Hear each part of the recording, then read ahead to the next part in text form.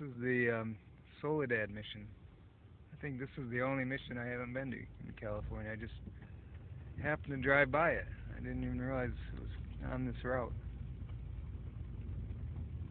Many years ago, I intentionally took the route of all the missions, but I remember I didn't get to this one, and maybe maybe there was one more. I don't know. I forget now, but I know I haven't been to this. This is the I think this is probably the least developed old mission.